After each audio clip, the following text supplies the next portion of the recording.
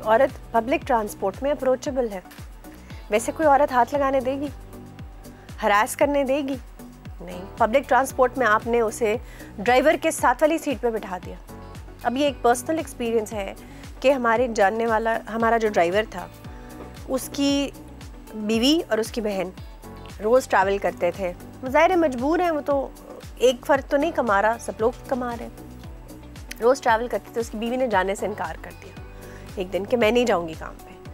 सब परेशान हुए, भाई, क्यों नहीं तुम जाओगी काम पे? तो उसने कहा, जो ड्राइवर है, वो मुझे मुसलसल हरास करता है।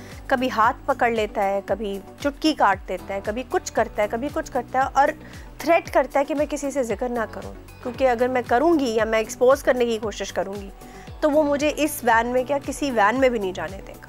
अब गरीब इंसान के लिए ट्रांसपोर्ट एक स्पाइन है। हम लोग जो साहिब इस्तात हैं, जिनके पास गाड़ियाँ अवेलेबल हैं, जिनको फ़र्क नहीं पड़ता इन चीज़ों से, उनको इस बात की रियलाइजेशन नहीं है।